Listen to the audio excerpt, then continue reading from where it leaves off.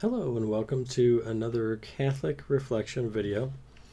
Uh, today I'm going to be reviewing the interview I had with Ryan Mercer over at Catholic Truth.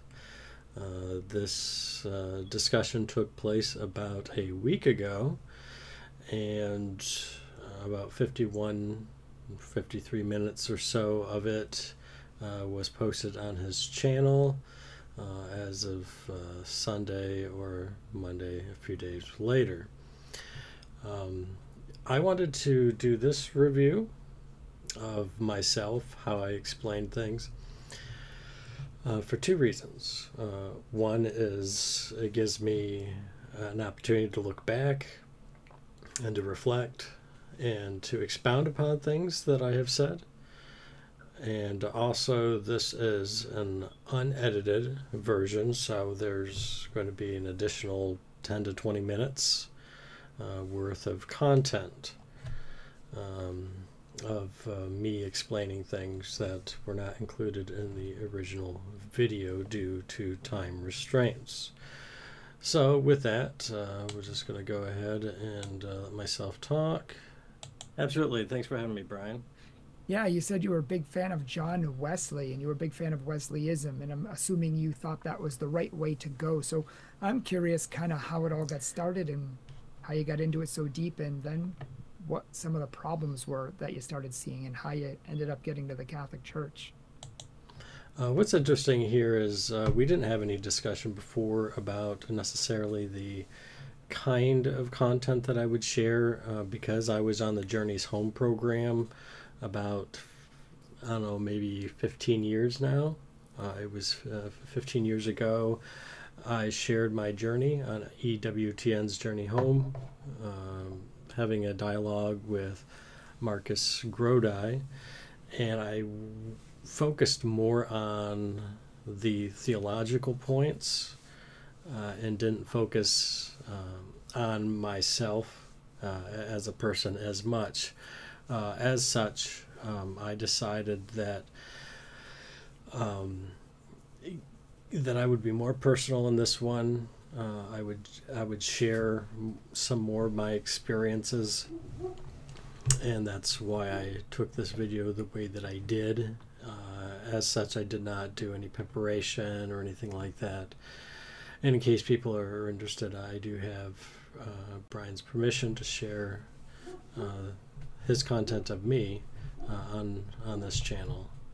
Sure. Well, I'll start at the beginning with my childhood um, and how I uh, got interested in John Wesley. Um, I grew up in a agnostic home, and so there wasn't a lot of talk about God or anything like that, and um, uh, so I was very nihilistic. Uh, I was very uh, skeptical. Uh, I, I remember just seven or eight years old, I began contemplating the permanent extinction of my consciousness, and uh, I used to cry myself to sleep because it would wow. fill me with so much dread, and um, so my my intellect was awakening, and I began to really contemplate the kinds of things that I was uh, absorbing in my home, in my school, and in society. Uh, this is actually a, a key point. Um, we don't get to choose the country we live in, the time we live in, the parents we have, um, the schools that uh, we go to for the most part. And um, all of the messaging, all of the ideas that uh, we are confronted with uh, often may be good or bad or a mixture of both. Uh, as such, uh, we have a tendency to start with those conceptions, and if we do not have any challenges to them, uh, if we were not well read, uh, what se- uh, seven or eight year old would be, then one basically just starts with the kind of spirit of the age, the zeitgeist, or more specifically, the uh, culture in which I found myself. So uh, we all grow up in homes with differing ideas. So we kind of grow up in a fishbowl. and uh, we need to critique and analyze, um, accept, throw out uh, ideas that are no longer uh, convincing. We don't find certain arguments to be valid or cogent. Uh, we acquire additional information by which we can uh, test out ideas and b- basically put it underneath a microscope for deeper evaluation. Uh, so this is something in which we find our, all, all, all of ourselves uh, uh, face uh, having to analyze these kinds of things. Um, just it was unfortunate for myself that as I was growing up, uh, there wasn't um, much philosophical reasoning beyond the bits and pieces of things that uh, I had picked up, and uh, unfortunately had very had a very negative impact upon myself, and uh, which uh, definitely uh, uh,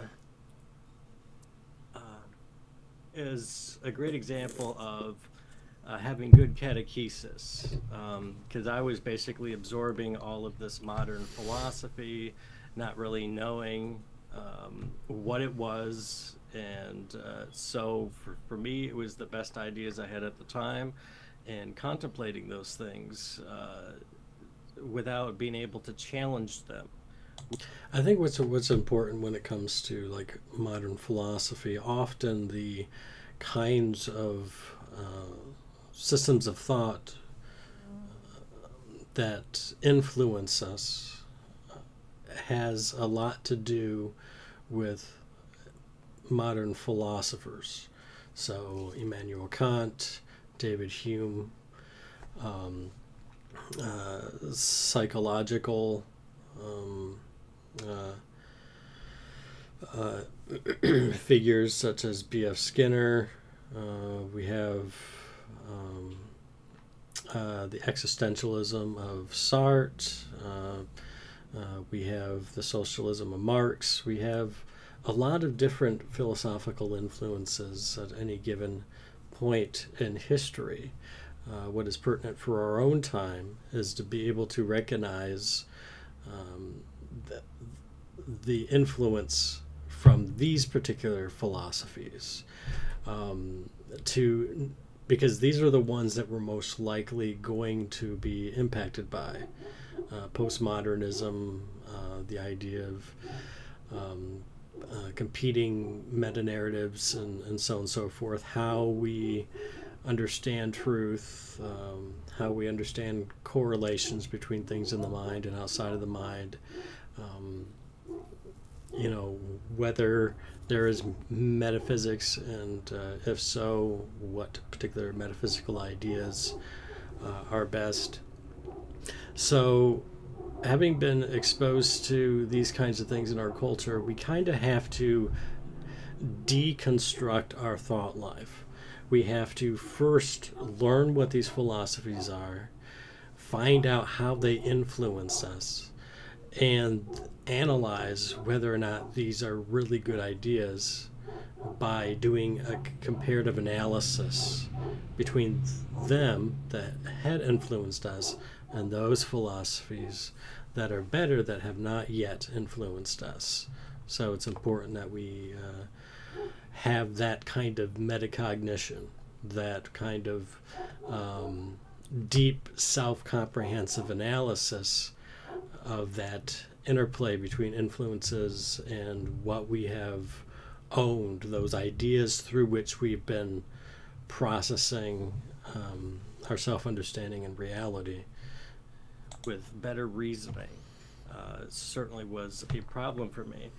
Um, so I shared that part of it because when I was about 17, 18 years old, um, I was at a very uh, low point in my life. Uh, my teen years were absolutely horrible, so not only did I absorb uh, nihilism, uh, but I suffered uh, the suicide of my father when I was 10 years old. So I, I, I, went through this huge rebellious phase in my, in my teens. Um, I basically did whatever I wanted, said whatever I wanted, and basically just gave to myself whatever I wanted. You know, uh, so I went through that phase of just exploring every inclination, um, entertaining any ideation, and uh, basically found that uh, all that did is uh, corrupt my soul and get me in trouble with the law. And so, but when I was about 18 years old. And I can't imagine you were actually happy either. No, I was not happy. Um, in fact, I would. Uh, I had a, a, huge problem with authority. Uh, I basically just acted out to amuse myself because it was the only catharsis that I could find. And so. It's kind of like a drug. Oh yeah, absolutely. Because uh, it was almost like there wasn't anything that people or society could do to me that was already um, worse than what I was already feeling deep inside myself. And, and so I, I just did not care because there was this just lack of objective meaning, you know, and just kind of drowning in the sea of meaninglessness. And, um, you know, um,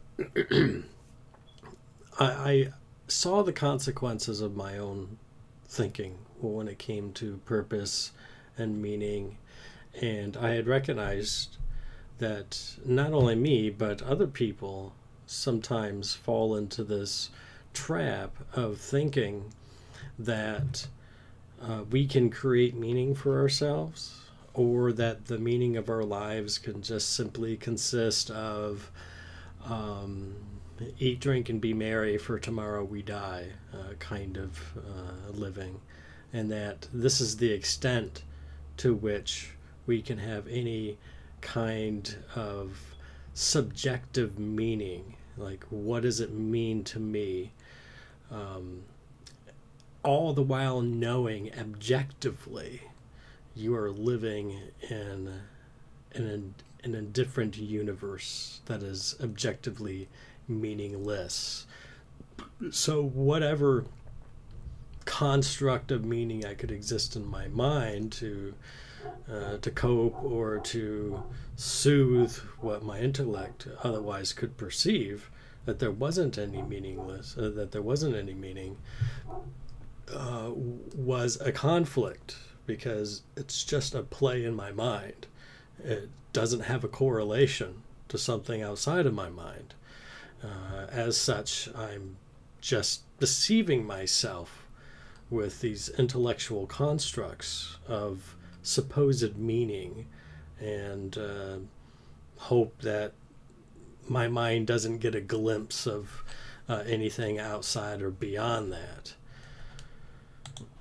So I definitely had a deep longing, but there really wasn't a, a solution to, uh, from my perspective, there wasn't a solution to this experience this is my existence. This this is what it is until I die, and then there's nothing.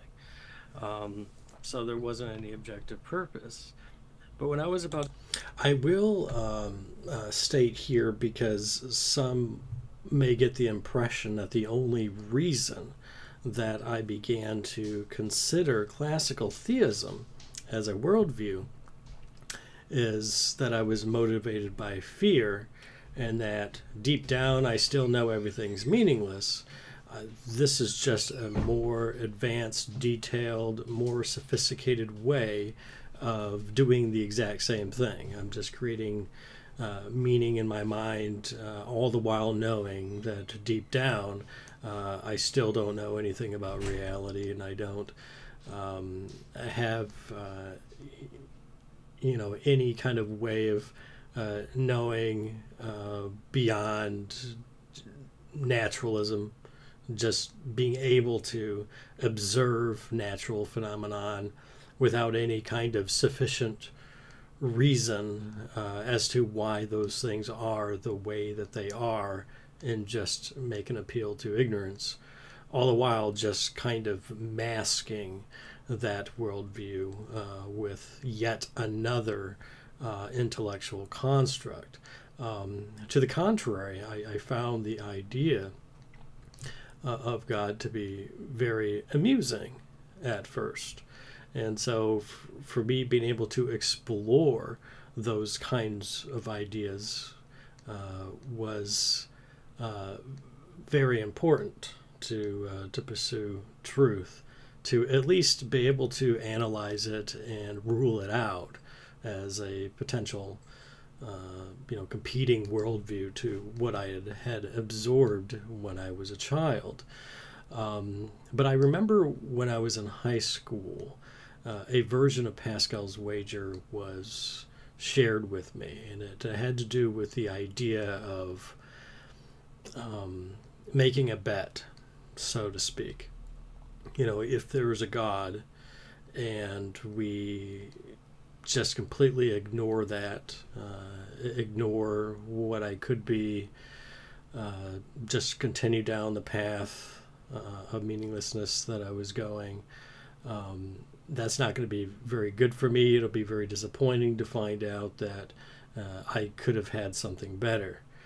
Um, and uh, if I did pursue God and uh, I changed and um, I wanted to, you know, be with Him when I die, uh, then that would be a great thing. But if there weren't a God and I just lived however I wanted, anyways, I'd probably get much of the same as I had, uh, just drowning in an empty way of life. Uh, because even all the pleasures we pursue are insatiable. You, know, uh, we have to just keep going back to them over and over again. There's just something a bit uh, dissatisfying about that uh, over the long run. Instant gratification, sure, but um, nothing that's going to be uh, deeply satisfying and enduring. Um, but it, you know, if God doesn't exist and I try to live a good life, you know, and I, I do pursue these ideas, you know, I mean, what do I really have to lose uh, by doing that? And I remember um, that argument drawing me to the point of, okay, sure, let's let's evaluate this. Let's take it under consideration. Why not? There's lots of ideas out there. I had not yet uh, considered this idea, so uh, let's give it a go. At 18 years old, I began to have a, a, a, crisis. A friend of mine who was at that time attending the Church of the Nazarene, he had um, started inviting me to church and so I started having this battle within myself. There are some new ideas.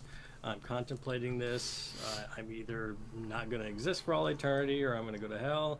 You know, it was just, um, I started to feel like I did when I was a kid. Uh, and just being filled with that, that, that, that dread. And um, so the, I gave my life uh, this this is in part uh, not just because like the fear of death, but it's really the, the the fear of not knowing. Basically, it's the fear of the unknown that uh, you know that I haven't died before. I haven't experienced that. Uh, it's just one of those things where, from what we observe, it's kind of uh, a state of finality you know, I've lived my life. I was born um, and died, and so here I am. Uh, it's that sense of finality mixed with a, an unknown bundle of answers to questions I'm not even sure if I can even answer or be reasonably certain uh, concerning to at least be able to know, right? So that's a more important point than just I'm afraid of something. It's I'm not sure what it is that I'm afraid of. To Christ during that time, I, I was I was baptized. Um, changed. A lot of things in my life were completely turned around. At the time, I was uh, uh, living in an adult group home, Uh, I was on SSI. I was told I could never really hold down a job, that I had mental illnesses. Um, I was on all kinds of different medications, I think seven at one time, uh, uh, treating various uh, psychological disorders. Um, I didn't have a car, I didn't have a job. Uh, everything was just very sad for me. Um, but when I gave my life to Christ, uh, you know, I don't recommend people do this. I did this in consultation with a doctor, but I took myself off all of the medications. I challenged the diagnoses because uh, I think that they were just trying to medicate me during during my teen years to try to control my behavior. Um, and so I've been off medications now for 25 years and I'm actually quite fine. So it turned out to be quite good. But then I got a job, I got a car, I left the group home, I started uh, staying with my friend, I started going to the Nazarene Church on Wednesday nights, uh, Sunday mornings, Sunday nights. Uh, I got deeply involved, read through the Bible, and uh, it was my first real strong exposure to Christianity. Uh, I, I, remember um, very early on, uh, the pastor had recommended that I read H. Orton Wiley's Introduction to Christian Doctrine. I remember there was another uh, book on Christian doctrine that, um, actually, sorry, it was uh, Introduction to Christian Theology by H. Orton Wiley. Uh, it was an um, an introduction uh, based on a three volume set that expounded upon things more, and then uh, there was another book in theology that went over the creed, and I just remember being just very fascinated with with these ideas. Um, so I just started devouring books on theology, um, books on. I remember reading The Case for Christ that uh, dove into uh, biblical criticism, uh, looking at the reliability of the New Testament, docu- New Testament documents, and, and, establishing the historicity of the person of Jesus Christ. And I, I, just just started going from book to book, and it was uh, uh a playground of an intellectual playground, exploring uh, uh, new equipment and swings and stuff. So. Um, so, uh, but for me, I, have always been just like when I was seven or eight years old, contemplating nihilism. Um, now I'm contemplating new things, and so I had to um, ground um, my journey uh, intellectually. Uh, I had to have firm reasons behind things. So I read books on the historicity the person of Jesus Christ, the reliability of the New Testament documents. Um, that's how I started. I had to ground it in something that was historical. Uh, and that's one of the great things about Christianity is that it's it, it is grounded in history. God became man in history, and so uh, because the Church of Nazarene was a Wesleyan denomination, um, it started with uh, John Wesley was an Anglican priest. He began to create um, or sending people over to America, the Methodists, and so they eventually created the United Methodists. They they um, the other Wesleyan denominations sprung from that, but the Church of Nazarene came from uh, came out of the Second Great Awakening um, the holiness movements, uh, revival meetings, uh, a strong enthusiasm um, for the grace of God, great optimism, uh, believing that there is this huge second conversion that occurs in the Christian life where one is entirely sanctified. It was one of the doctrines of John Wesley that. That's a big um, claim. Uh, it is, but it's highly qualified. Um, to, to, them, it was the idea that when you become a Christian, there's um, there's incompatibilities um, that exist, a strong inclination to sin. but they claimed that this bent towards sin can be bent back uh, so that the, the, the the strongest driving inclination is towards holiness. Now, I will add a qualification here, uh, particularly because, um, yes, the Church of Nazarene um, spoke more enthusiastically about this, had a greater optimism than, say, uh, John Wesley himself, uh, whom I go on to say uh, I'll note here just because I wanted to make I want to make a point that uh, he taught that most people aren't entirely sanctified, and those that are, most of them uh, have occurs at the moment of death. Um, to put this into perspective from a Catholic perspective, uh, particularly because from a Catholic perspective we, we speak of concupiscence it, it's a kind of um, disordering of our nature in uh, in such a way that the intellect uh, d- does not always properly govern the lower passions.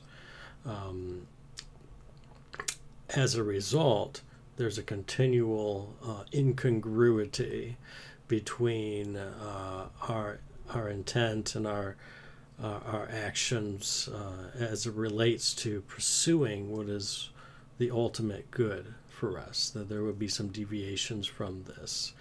Um, but Wesley had taught, and the Church of Nazarene had taught, that the heart becomes so flooded with the love of God that there is no room in the heart for sin. But it's also qualified that this has to do with a willful transgression against a known law of God. So it's very nuanced to what is having to do with culpability. Um, in Catholic theology, there is this idea of infused contemplation, a, a deep union uh, with God, where one could at least, uh, uh, it's very possible uh, with the help of God's grace to be able to live a life of, of holiness um, so there is a kind of Catholic uh, correlation to all of these correlations, um, but uh, that's not usually how it's framed uh, in the Church of Nazarene. There's these altar calls, you, you give it, you believe it, and that's supposed to be it. But a lot of people do experience uh, occasions where they're just constantly having to keep coming back um, uh, to uh, once again seek entire sanctification. Uh, that's basically what the idea is. It's not uh, uh, a state to perfection. There isn't a restoration to the state of Adamic perfection, but there's this um, uh, bent in the heart to love God. Uh, so there is a correlation, but there's also distinctions in the language and concepts that is used uh, to express it. Now, of course, uh, this is different um, than the, uh, the, than what Catholic teaching is. Um, now, yes, there's the idea of uh, perfect love, um, the idea of not having any intentional sin uh, there might be some semi-intentional or, or, what have you, but as uh, some of the saints talk about, but the, there's always going to be uh, some incompatibilities that we at times uh, experience uh, within our soul. That concupiscence remains for the to to train us and holiness and to test us and so on and so forth. So my experience was as I kept wanting to have what Wesley was claiming as entire sanctification, um, but um, that just wasn't the experience that I myself was was having. Um, and he would highly qualify this with mm-hmm. uh, most people um, don't experience this, and those who do, most of them experience it uh, at the moment of their death. You know, so it, it wasn't um, as uh, prevalent in the thought of Wesley as, as it became with the Church of Nazarene, where they would just do this kind of second altar call.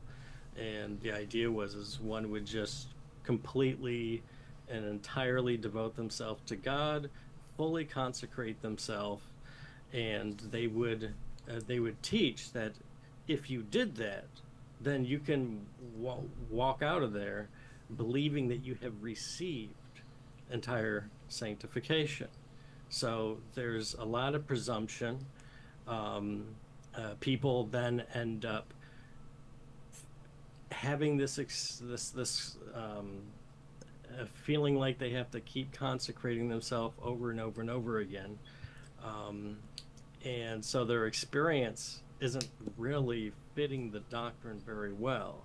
Uh, most people continue to struggle uh, with uh, sins, sometimes habitual or addictions or, or, or other things. Um, but that wasn't the, the main thing that uh, drew me.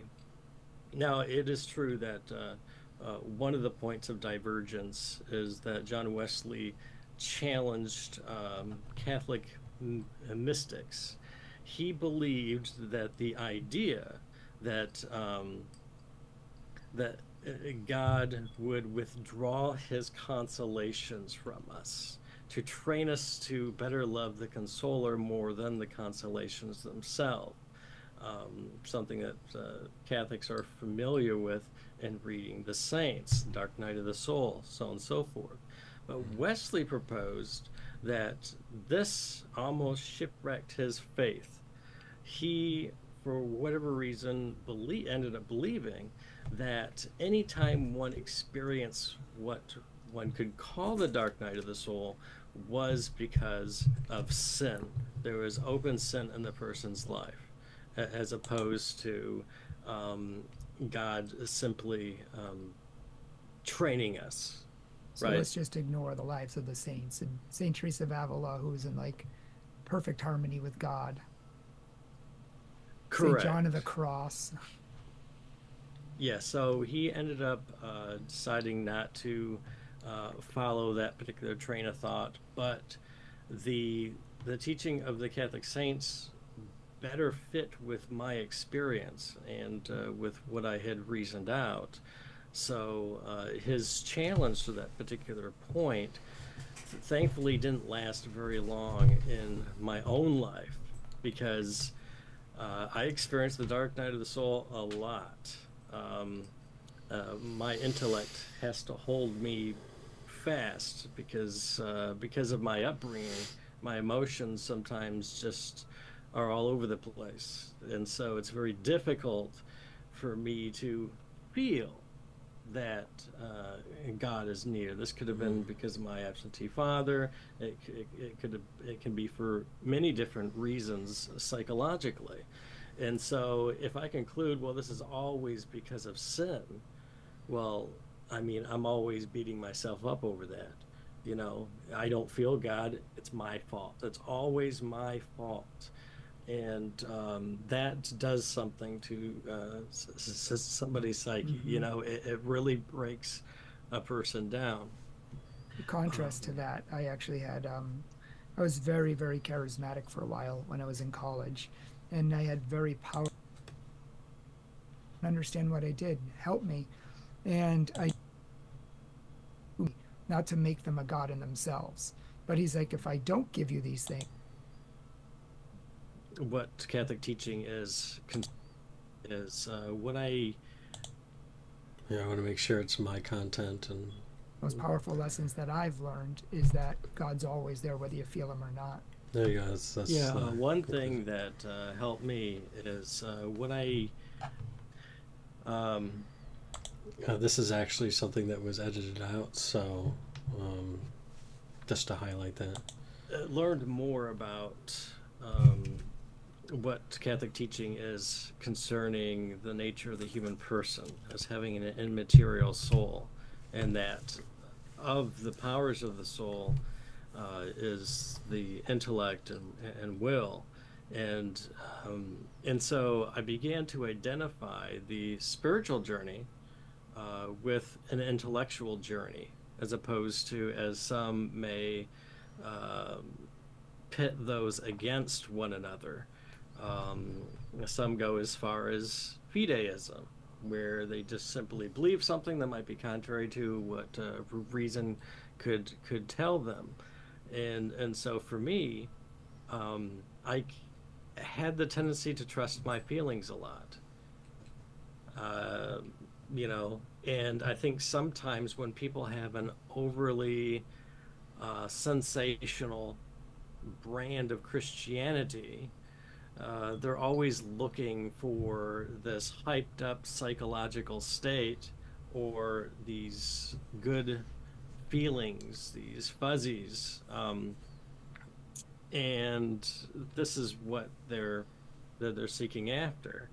Um, I, on the other hand, um, came to appreciate the fact that um, even in the midst of great difficulties, um, fear, dread, um, challenges, and tests of all kinds, our intellect can still perceive that highest conception that is possible in the human mind, where our intellect can perceive God in the midst of all of that. And um, that has helped ground me through those periods of time where I'm emotionally overwhelmed, you know, because that's more of the uh, uh, sensitive soul kind of conception. It's it's our it's our rational soul. It's our, our intellect's ability to be able to perceive the good, the true, and the beautiful, of which God is the, the culmination, the fullness, the perfections of these transcendentals. And our intellect can continue to look up and ascend and be able to grasp God in the most difficult situations. Uh, this is uh, this was a very fascinating insight that I had many years ago concerning the spiritual journey because the spiritual part of us that is our soul our soul is spirit but not all spirits are souls um, because our soul is spirit and that the predominant power of the soul is the intellect the intellectual journey is uh, the spiritual journey. Uh, it, is the, the, the, way by which we perceive God, uh, by which we contemplate God, by which we see the good, the true, and the beautiful. Um, that uh, basically, uh, you know, draws our will as a rational appetite towards those things, and uh, that was uh, such a great insight that the uh, because I had been told for many years that the spiritual journey was more about experience and feelings and emotion and so on and so forth. And because I didn't have a lot of that, uh, you know, th- that kind of uh, version of Christianity or that conception uh, makes me think, oh, okay, well, I'm just kind of left out of all of that, and um, but now I can continue to view those things as subjective. They may be there, but they might not. But I could still have a full spiritual life through the intellectual life because the intellect is the predominant um, power of the soul, and my, my soul is is spirit. So that's the spiritual journey. Uh, that was such a huge insight that helped me uh, know that despite how I might feel, despite the experiences I'm having, I still have this intellectual journey. And uh, that uh, was a huge help to me. Uh, and it was a very healthy way of uh, looking at it and pulling me out of interpreting myself as uh, not having much of a spiritual life at all. Um, so going back to um, uh, uh, John Wesley, so there is a lot of people who go through life, or like like with me, growing up in my home, simply absorbing the things around us. We live in a fishbowl. All right, we're absorbing all kinds of influences, and sometimes we are just by default thinking within those paradigms without ever challenging them. You know, kind of getting to a metacognition uh, where we're analyzing our thought. You know, that's basically what, what, what logic is to help us do, is to be able to analyze how well we are thinking. Likewise, the content with which we utilize. Um, and unfortunately, and I don't blame people um, for thinking error at some point in their life. You know, to be very charitable towards people because I know that when I was a kid, I was thinking with the best ideas I was exposed to at the time. Uh, when I became Protestant, I was thinking with the best ideas that I was exposed to at the time. And likewise, I just had to continue to challenge these notions.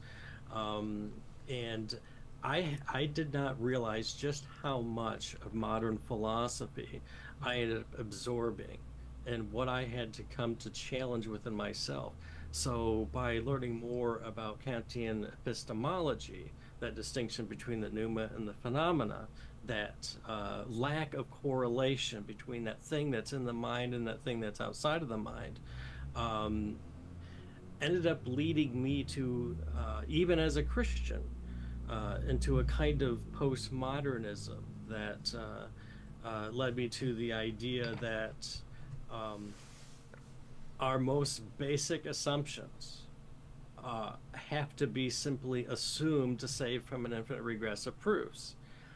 And uh, I, I, remember uh, even in my late 30s, sorry, my, my early 30s, that the more philosophy that I studied, the more I was able to identify those influences and how it was impacting my spiritual journey. And so I remember just feeling like, and I, I just don't like this. Well, I just have to believe it, you know. Uh, I'll stop there for just for a brief second. Um, these experiences I had uh, occurred uh, perhaps as late as five years ago, but even further, uh, 15 years ago. Excuse me. Um, I didn't realize the impact that modern philosophy had on me and how it was influencing my thinking. So when I became a student, when I became a student, at Holy Apostles College and Seminary, I took about three courses there towards my master's um, 15 years ago. And I remember being exposed to Aristotle and Thomas Aquinas for the first time. And that has radically changed um, my thinking uh, about theology, about reality, how much reason can be applied uh, to uh, the Christian life, uh, which correlates very heavily with uh, what the church teaches concerning that uh, that most of the faith uh, can be explained by means of reason alone. That the intellect is capable of not only understanding but discovering these things, and that we can be reasonably certain that they are in fact true. With the light of revelation, of course, uh, this becomes uh, much easier and we learn more uh, that we couldn't discover by reason alone, but those things that we can know from revelation uh, that uh, reason alone can explain is confirmed by revelation. Give, giving credence to those things that cannot be explained by reason alone, but those things that cannot be explained by reason alone can uh, and uh, are consistent with all the, the, reasoning that we can do. Um, it uh, also isn't contrary to reason in and of itself, and also reason can be used to uh, understand and, and, and, grasp those aspects of things that can only be known through revelation. Um, so there's a con- congruence uh, that continues to exist uh, with human reasoning. Uh, but uh, until I got there, I continued to have the impression that at some basic level, deep down, I have to just keep making these blind assumptions just to buttress the entire system. Like the uh, the further down in the foundation of a system of thought you go, the less certain uh, one is about said propositions. Uh, that whole idea just eroded the foundation right underneath me as a Christian, and it began to chip away at my trust in God and so on and so forth. Um, it was a very pivotal moment, uh, pivotal moment in my life that, thanks to Aristotle and Aquinas, uh, helped to rejuvenate my faith, uh, deepen it, enrich it, and now I'm enjoying the fruits of uh, a solid foundation upon which uh, I can stand. Kind of attitude. You know, I, I remember this. Uh, um, I was studying the Jehovah Witnesses in my, my early 20s, and um, I, I, was actually working for a Jehovah Witness who liked to uh, talk to me all the time. And I was a new Christian, so um, I had to do a lot of study and research. But I remember I was sitting at the kitchen table and I had the New World Translation, uh, I had the NIV, and I pushed them both in front of this guy and I said, How do you know? And I remember him just saying, I just know. And it was intellectually dissatisfying to me because I could do that same thing with a Jehovah Witness and they'll tell me I just know. Uh, actually, to be fair, I, I think a, a Jehovah Witness may actually um, offer a reason or two, right? which is which is saying something as to that's what my experience was. Here, here they were being able to offer at least an idea or two as to why. Uh, but on the other hand, this this Christian man was telling me nothing at all. Um, it was just blind adherence. Uh, so, yes, very dissatisfying. But because he wasn't offering me any reason, and they were, I had to engage that. I, I wanted to understand the issues. And uh, yes, the New World Translation is, is uh, 99.9% of uh, uh, Greek scholars who are cr- uh, credible and are distinguished in their disciplines uh, think that th- that is just the New World Translation is just not good. All right, to, to say it as charitably as I possibly can. Uh, so, but it, it, took me a long time to uh, to study some of those issues, uh, particularly because, especially with uh, uh, the Protestant doctrine of sola scriptura, I myself have to do all of that heavy lifting. Don't you know that I love you in a God of a the, church, know the authority in the church, which uh, was delegated uh, by Christ Himself. And this is insufficient. I mean, I'm glad that he w- was a Christian, but the the, the lack of uh, an ability to um, ground one's position in something other than just a feeling or this is how I grew up. Right. None of that was helpful to me. I had to dig into the Greek. I had to read commentaries on the Greek. I had to figure out exactly why different translations are the way that they are.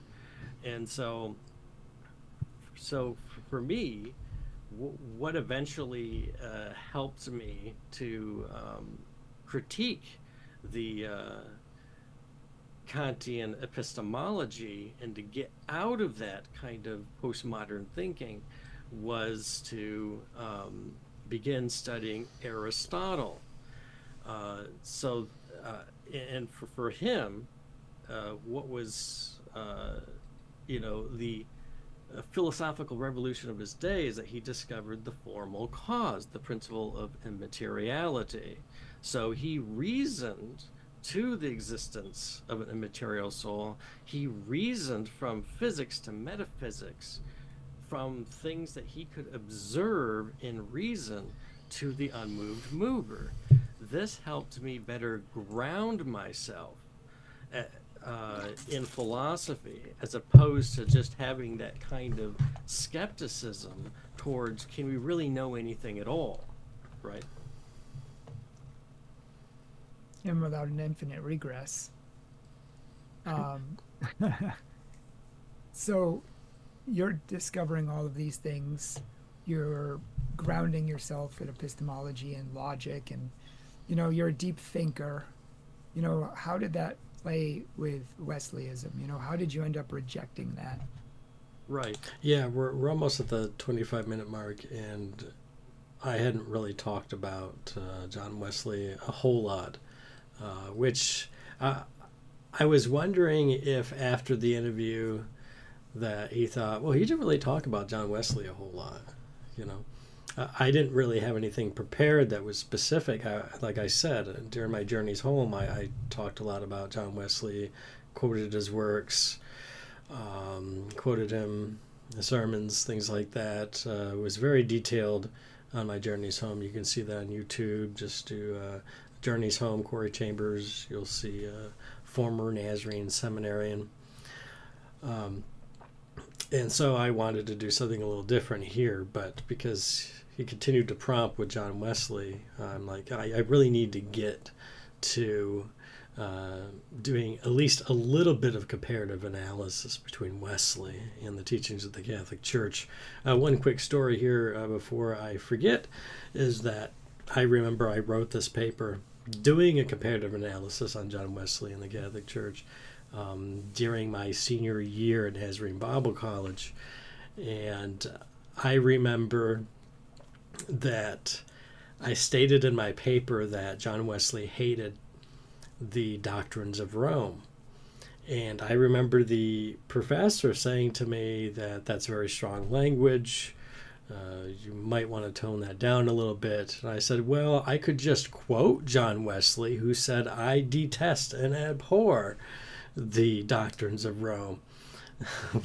Apparently, he had never heard that before. So, I mean, uh, I, I, I, I just, I just thought that was funny because I just went the other way with it. And so I've been building up to this. Uh, so I began to question okay, what influenced Wesley? Because really, he's just a conglomeration of various influences upon his own thinking. And so I wanted to understand exactly how he got to where he was. And so uh, obviously, Wesley is in the 1700s. Uh, he lived up into his 80s. Um, and he was an Anglican priest. So this is kind of like a post Catholic church, right? In, in, in, England, you know, as uh, uh, this is post English Reformation, the, the post English revolt from the church. And um, but what makes I think Anglicanism a little unique over the uh, magisterial reformers um, is that they tried to, anyways, create a via media, a middle way, something that attempted to still hold on to um, some semblance of Catholic substance, uh, more so than um, than than Calvin or, or, or Luther. Um, so, in Wesleyan scholarship, it's often said that John Wesley created a synthesis between Protestant principles and Catholic substance. So uh, Wesley actually critiqued Martin Luther for not understanding sanctification. Much of what Wesley taught about sanctification uh, came from Gregory of Nyssa and from from, from Catholic thought, uh, whereby. Uh, who who was the other guy? Um, uh, wasn't like uh, it's not Macarius the Egyptian the Egyptian the Egyptian. I'm trying to remember uh, the the name. I remember that was also so. John Wesley had compiled writings from the early church fathers that focused on things like theosis and uh, deification and so on and so forth. Um, and he would put them together in a kind of Christian library. And he had read a lot of these these works because he wanted to, in in his mind, the real change that occurs in the Christian. That's real Christianity, right? The inward witness, the the the uh, uh, renovation of one's nature uh, by the grace of God. Uh, to say it a Catholic way, that uh, uh, grace perfects and elevates our nature. Um, and so his, the doctrine of sanctification was just very important in the writings of John Wesley uh, whereas he had critiqued Martin Luther for not thinking uh, correctly concerning the matter. We actually become holy. We're not just a dunghill covered by snow. Uh, it's not uh, merely a relative change in relation to God, but a real change that occurs in the person. So uh, Wesley had prided himself on knowing in his theology the distinction between justification and sanctification and a full understanding of each.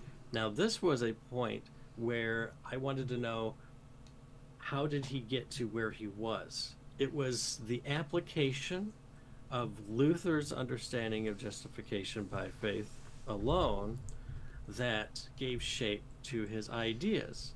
But when I started studying the, the, the Council of Trent and better understanding that justification is that process by which we actually become just, and that sanctification is an integral part of what justification is. Because for Wesley, yes, this is actually very important. Like, like, like, and I'm probably going to say the same thing. I'm actually going to just say, but uh, I wanted to say that um, for for John Wesley, uh, God doesn't impute His grace where He doesn't also impart it, right? Uh, there isn't anybody whom God declares to be holy who isn't actually holy. Uh, and, and, these are actually, this is the Catholic substance, right? Uh, this is the real change uh, that, that, Trent talks about. Um, it's not so much that it's justification by faith alone. Faith is obviously the foundation um, and the fountain of justification, no doubt. And um, and faith, of course, is never really alone, is it? When it's a true and living faith, of course. Um, uh, has more to do with the mere declaration, uh, a mere uh, juridical uh, declaration where God declares something to be that is contrary to the nature of the thing itself. And Wesley basically said that this is weird. You know, we don't confound our righteousness with that of Christ any more than we would with Moses or anybody else. Uh, likewise, you know, God sees the real nature of things. There is no, um, and so therefore, there, there, there is no dunghill covered with snow. Um, there isn't like a pair of Jesus eyeglasses where he sees us, you know. And uh, I, I certainly would, would, would like to take uh, a little bit of time to see what John Wesley thought concerning penal substitution. I, I think I remember he rejected it. I, I, I, don't, I don't recall. Um, I, I think that's not the I, I think that's not the case. Um, but I, I could be wrong. I could be misremembering. Uh, but it's important from a uh, Catholic position to recognize that uh, it would be unjust for God to punish Jesus, an innocent man, instead of us who are guilty. Um, likewise, it would be strangely unjust for God to treat me as if I am Christ when I am not. God sees the true nature of things and always acts justly. Um, God's not deceived, He's not mocked.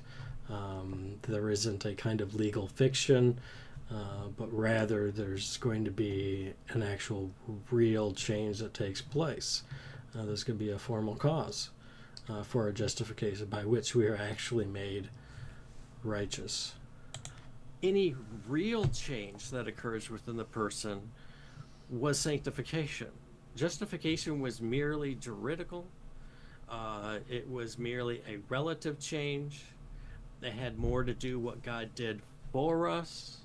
Uh, and sanctification. Here, just a second. I, I think I misspoke. Really juridical. Because for Wesley, any real change that occurs within the person was sanctification. Right.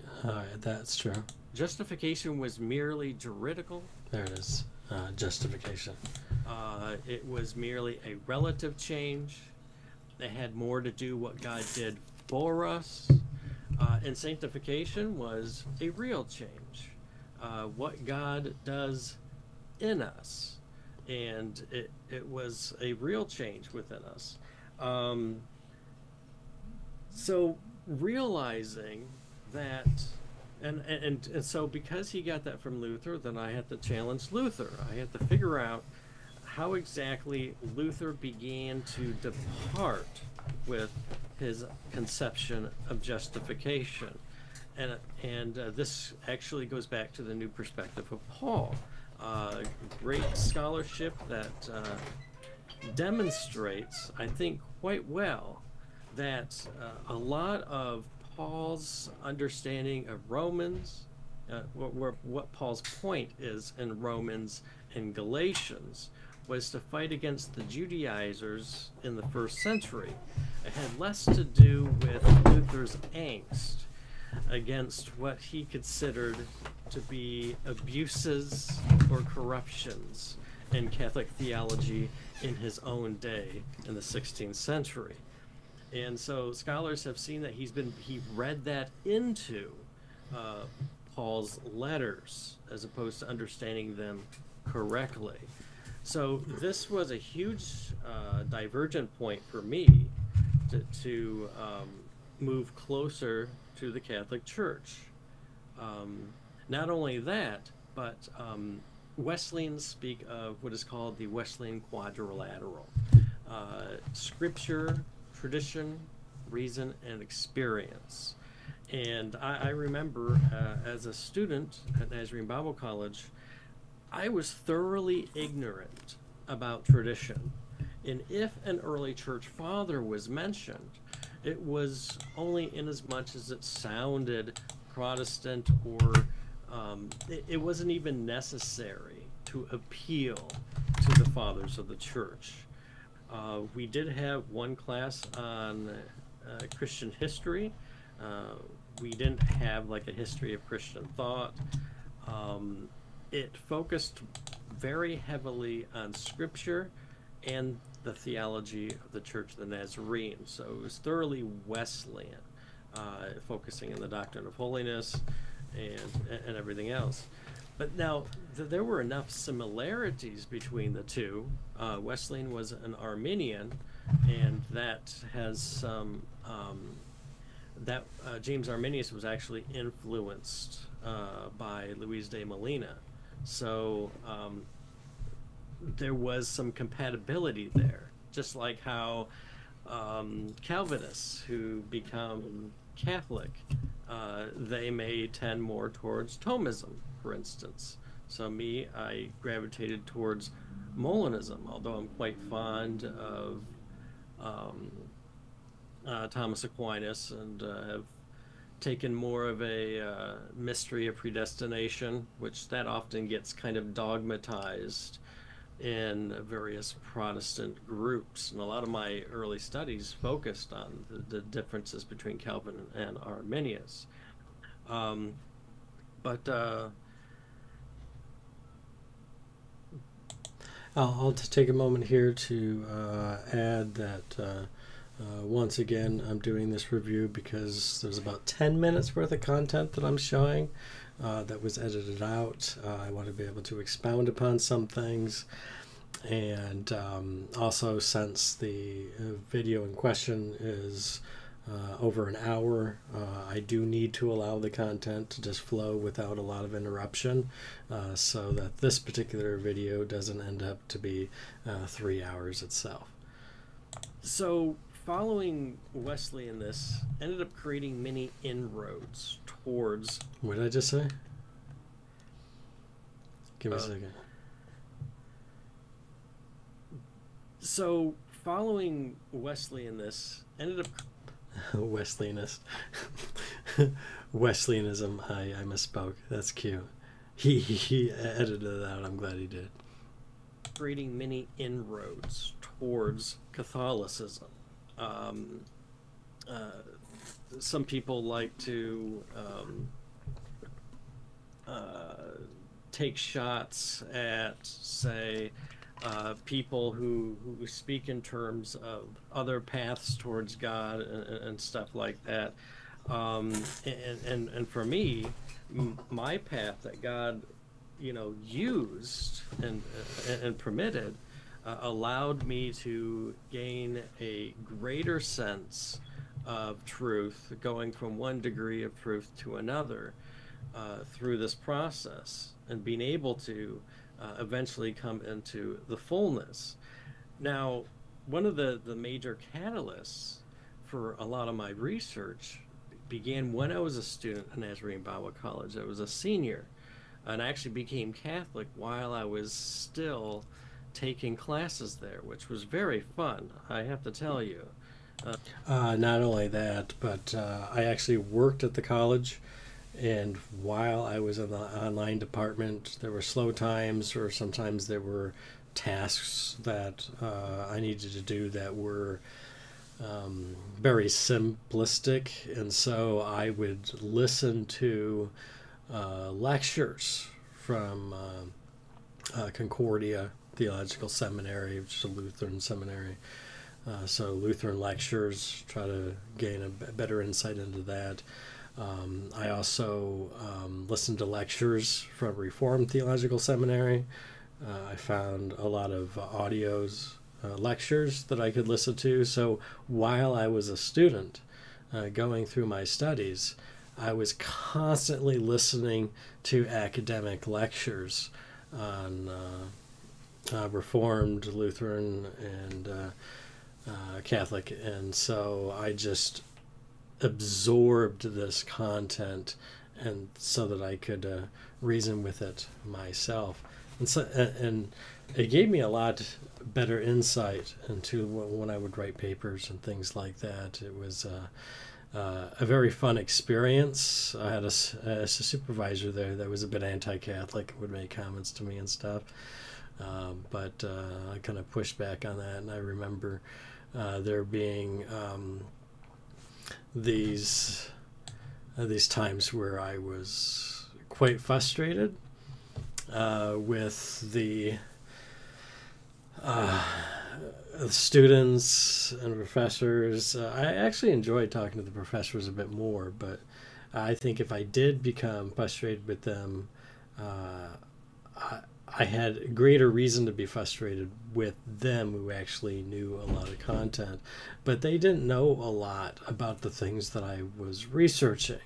Uh, they may have went through their courses of study, and who knows, uh, you know, if you're just in one theological tradition, there are people who they're born and raised in the Church of Nazarene, you know, and all they do is read books from Beacon Hill Press and uh, so on and so forth, and um, it's it's almost all they know, and uh, there isn't a lot of uh, comparative analysis between that and other thought uh, beyond what explanations they have uh, for the critiques that other people could make and so on and so forth. The same sort of thing that anybody would do. Uh, like as a Catholic, I would do that. You know, try to defend the Catholic faith against um, uh, attacks and objections and so on and so forth. Uh, but yeah, I, I, just remember my experience there.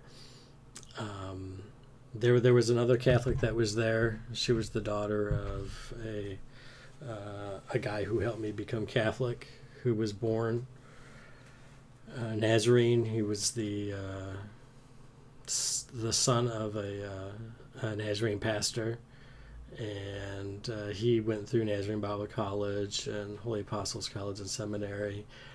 He took, if I remember, maybe five to eight years to become Catholic. He read through the entire Ante-Nicene Fathers and um, he wrote a book as to like why he became Catholic and stuff. And so he was more familiar with Wesley and James Arminius than I was, and obviously intimately acquainted with the, the early church fathers. I just remember uh, that he was just a huge help to me. Um, being having been grounded even more so in the things that I had to help me uh, be able to understand some of his conclusions. Um, it was just a perfect fit. Um, uh, shout out to John for, for all his help in that regard. Uh, lots of stories of me interacting with the professors during the classes. Um, but uh, there was um, like like for instance there, there was this occasion where uh, we were in book of acts and the professor raised the question of whether or not there was any authority passed on after the apostles and i and i think he asked the question to um, uh, to to merely get us to think about a new question but i had just read the letters of Ignatius. So I raised my hand and I said, uh, You know, I was just reading today in Ignatius of Antioch, who was the disciple of uh, the Apostle John. He said, uh, Yes, there's apostolic succession. Uh, there is an authority that is there that uh, persisted, and you can see this continuity throughout the early church fathers it was it, it was uh, unanimous um, in antiquity, and um, he uh, said absolutely nothing, blank stare on his face. He just moved on, and, and just pretended I didn't say anything at all. It was it was absolutely uh, uh amazing to have that kind of experience. There wasn't any dialogue at all on the point, uh, even though he had raised the question.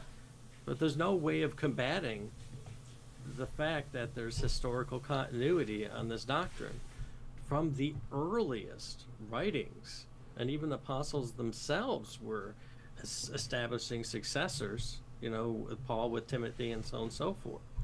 Um, and what the church understood and believed about the preservation of apostolic tradition and that was an, a, another divergence with Wesley is that despite the, the Wesleyan quadrilateral that looks at tradition, obviously what it comes down to is that a person who finds something in tradition that disagrees with their personal interpretation of scripture, then they can just discard it. Uh, because scripture is primary uh, and um, but unfortunately, objectively, that really isn't how it functions. The individual basically ends up being the final arbiter of truth and, and interpreting scripture. Um, and I give people credit. They're reading their Bibles, they're trying to make sense out of it, and that's fair. Um, and people follow um, the those interpretations which uh, appeal to them or make the most sense to them where they're at. I, I know I certainly did, um, with with good faith, of course, uh, always with. Um, a kind of tentative attitude and openness to I could be wrong. I'm always open to more. That's what a student does. You know, uh, they are developing their convictions. Um, uh, they are uh, building a rational foundation for um, why they think what they do. Um, so I give people credit for making the effort and doing that, but we don't have to reinvent the wheel. We can look at the early church fathers and uh, use them as our guide to better understand what Scripture is. So, in the Bread of Life discourse, if we find that. Uh, uh, I will jump in here because I mentioned the Bread of Life discourse, but as soon as he mentioned the uh, being born of water and spirit, I shifted to explain that one as well. But uh, with the Bread of Life discourse, it's often said that when Jesus explains that flesh is of no avail, what matters is spirit, you know, um, that they're thinking that therefore Jesus is speaking only metaphorically, but spiritual doesn't mean metaphorical. Um, in, in this context, there's that distinction between um, understanding Jesus according to the flesh or according to the spirit. Are we going to understand the deeper spiritual truths that he's trying to convey to us, as opposed to the, uh, the, the, the as opposed to the flesh, uh, which uh, an antithesis between the two is established by St. Paul in Romans and Galatians uh, and elsewhere, uh, where there's this tension or there's this challenge that exists uh, within the human person in its fallen state. Um, as such, the uh, during the bread of life discourse, the Pharisees were constantly interpreting uh, in a naturalistic way how can you give us your uh, flesh and blood to eat? Even with the Nick at Night event with Nicodemus, you know, how can I enter my mother's womb to be born a second time? Uh, you know, this is an understanding according to the flesh they're not understanding the deeper spiritual explanation, the meaning that Christ is conveying.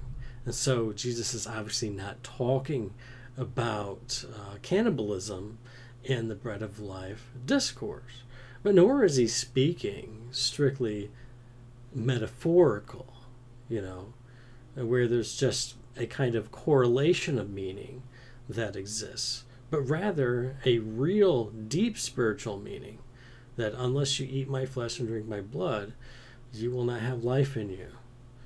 So the, the, the early fathers understood this to be referring to the Eucharist. Likewise, with the uh, you must be born of water and spirit, has always been understood as baptism. And so, but I use that because it triggered a memory that I had uh, a dialogue with an, uh, somebody at Nazarene Bible College. Uh, or what, what or or other Catholic sounding verses, we find that in the John early church. Five. You must yeah. be born again. Yes, the, that one of uh, water and spirit. It's it's um, you know I remember I, I, I, was in the library, Nazarene Bible College, and I was I was talking to the, the, the wife of one of the professors who was also a student, and uh, I mentioned to her that it was universally understood that this is talking about baptism in, in this verse, and um, and she challenged that, and I said, you know, whatever we have to say about exegesis, I, I, I find it odd um, or even the hubris of it, that somehow only now do we understand what Paul meant, and nobody else seemed to have understood. You know, it, it's it's like saying we understand John better than Ignatius, for, for instance. You know, um, right? Sixteen hundred years it took for us to finally get it, but everybody else still doesn't get it, just me. Correct. And um, so I began to see this issue. And, and I knew that just with bap- not just with baptism, but with the Eucharist, that if I were to follow the consent of the fathers on these particular doctrines, there isn't a single Protestant denomination that holds to those. I yeah, what's what's interesting is uh, one of the books I read very early on was um, "Crossing the Tiber" by Stephen Ray, and I, I remember that that was two issues that he addressed in his book, and he shared quotations from the early church fathers concerning baptism and the Eucharist, and the unanimous consent of the fathers concerning those two doctrines. Now, I, I remember looking at that and seeing, oh, wow, that's exactly what the Catholic Church teaches and it's unanimous in antiquity. Uh, you can see this consistently uh, throughout uh, the early church fathers. And uh, I thought, well, yeah, I could see that making me cross the Tiber, uh, which is the, the, the, uh, the, the, point of his book. Um, but I found time and time again, like, even if a Protestant had quoted an early church father, very occasionally, uh, would a father of the church be referenced uh, by a Protestant? I remember I was talking to um, a Protestant pastor, the first Nazarene church I ever attended. And I remember that I told him that my New Testament professor at the time, I was working through the Alliance program, uh, taking college credit through the district uh, training centers, which I would put together portfolios of the content to submit to Nazarene Bible College to be evaluated uh, to be considered for college credit to ensure that college level learning had actually taken place. And I remember that this particular professor believed that Lazarus wrote the book of John. All right. Well, anyways, I was talking to the Protestant, uh, to, to, to, this uh, pastor, uh, this Nazarene pastor, and he he said, uh, and he started quoting to me from the early church fathers. He quoted to me from Irenaeus that John had written the book of John, that there was evidence in the early church fathers that um, Lazarus did not write it. Okay. Uh, as interesting as it was uh, in his claim to internal evidence um, or his interpretation of, um, of the document, uh, I found it interesting that we don't know that John wrote it without an appeal to tradition, and here he was quoting tradition in response to it. And that kind of opened my eyes to not only the need to appeal to the early church fathers, but I also recognized that many times when Protestants attempt to quote the early church fathers, they usually do so out of context. So there, there, there, there were times where I looked up a passage by that was being quoted by an early church father, supposedly saying something that is Protestant I would then read the context, the paragraphs before, paragraphs after, and find that the early church father was saying the complete opposite of what was being proposed by the Protestant. I had this experience over and over and over again. Uh, as such, um, uh, once again, the early church fathers just uh, helped me uh, become Catholic.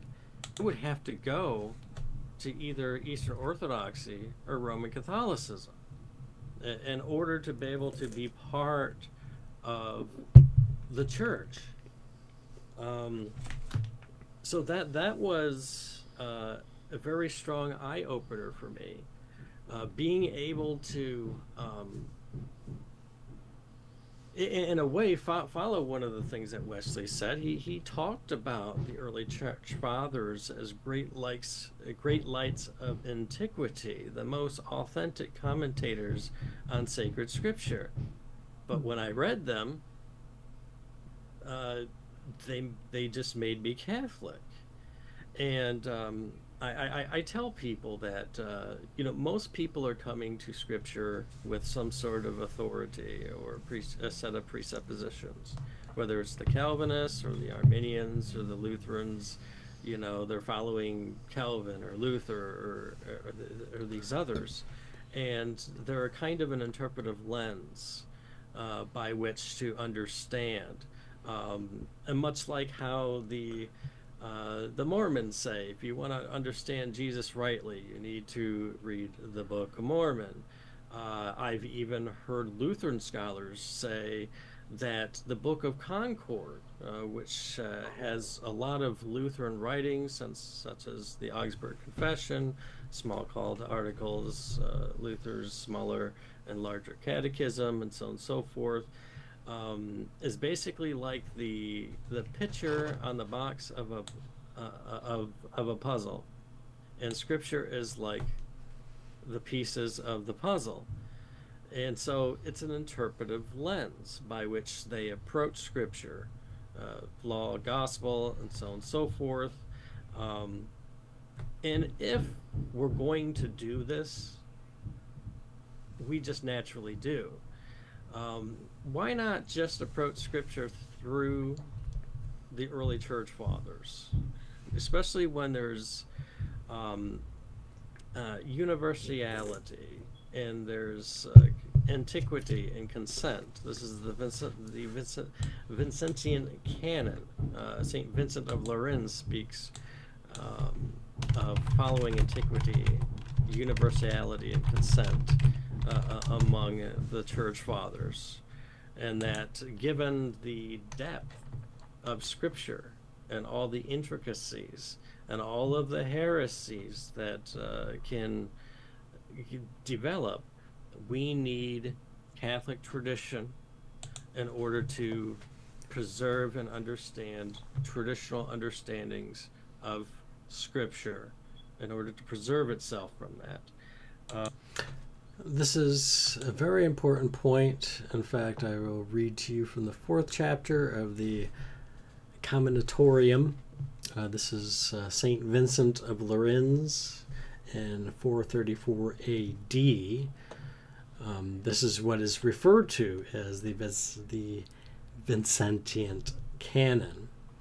He states, I have continually given the greatest pains and diligence to inquire from the greatest possible number of men outstanding in holiness and in doctrine how I can secure a kind of fixed and, as it were, general and guiding principle for distinguishing the true Catholic faith from the degraded falsehoods of heresy.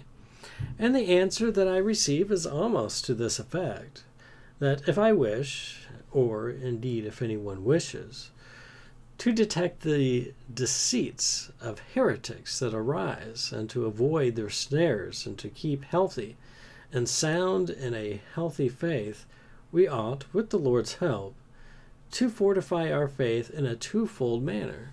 Firstly, that is, by the authority of God's law, then by the tradition of the Catholic Church.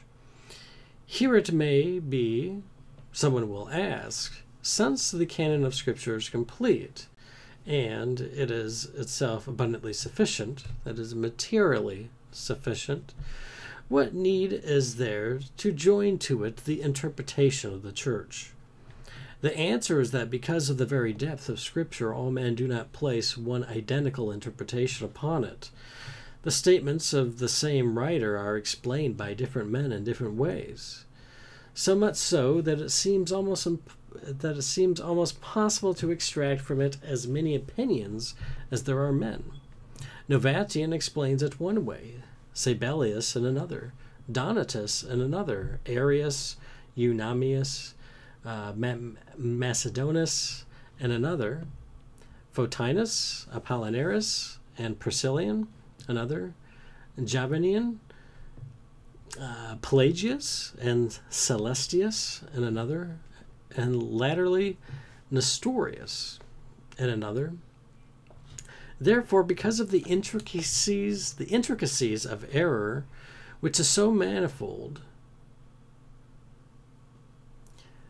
there is a great need for the laying down of a rule for the exposition of prophets and apostles in accordance with the standard of the interpretation of the Catholic Church. Now, in the Catholic Church itself, we take the greatest care to hold that which has been believed everywhere, always, and by all. That is truly and properly Catholic, as is shown by the very force and meaning of the word which comprehends everything almost universally. We shall hold to this rule if we follow universality, antiquity, and consent. We shall follow univers- universality if we acknowledge that one faith to be which the whole Church throughout the world confesses. Antiquity, if we in no wise depart from those interpretations which it is clear that our ancestors and fathers proclaimed. Consent, if in antiquity itself, we keep following the definitions and opinions of, of all, or certainly nearly all, bishops and doctors alike. What then will the Catholic, the Catholic Christian do? If a small part of the church has cut itself off from the communion of the universal faith, the answer is sure. He will prefer the healthiest of the whole body to the morbid and corrupt limb. But what is but what if some novel contagion tried to infect the whole church and not merely a tiny part of it? Then he will take care to cleave to antiquity, which cannot now be led astray by any deceit of novelty. What if in antiquity itself two or three men, or it may be a city, or even a whole province, be detected in error? Then he will take the greatest care to prefer the decrees of the ancient general councils, if there are such, to the irresponsible ignorance of a few men. But what if some error arises regarding which nothing of this sort is to be found? Then he must do his best to compare the opinions of the fathers and inquire their meaning, provided always that, though they belonged to diverse times and places, they yet continued in the faith and communion of the one Catholic Church.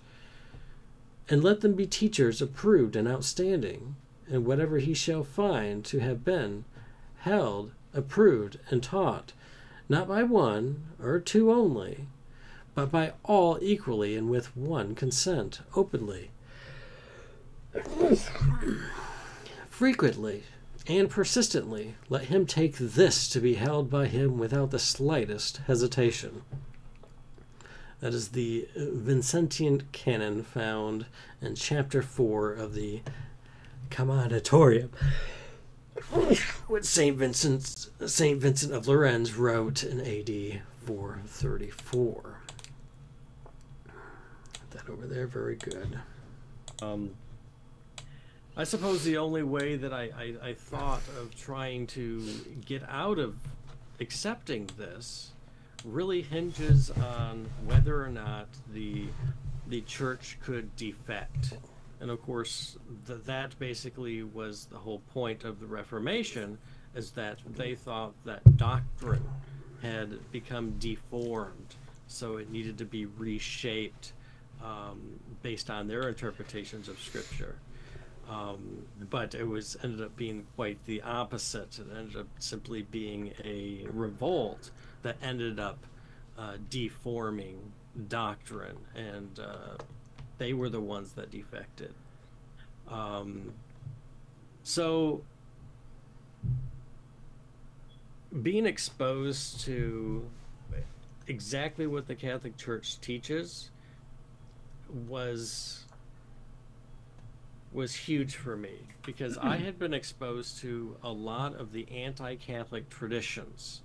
A lot of the, you worship Mary, you know, you worship bread, you worship the Pope, heck, you're, you're worshiping everything but Jesus, you know, kind of thing. And Catholics are going to hell.